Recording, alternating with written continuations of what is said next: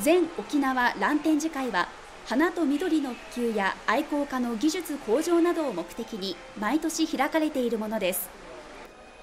会場には県内38人のラン愛好家が丹精込めて育て上げた作品310点が展示され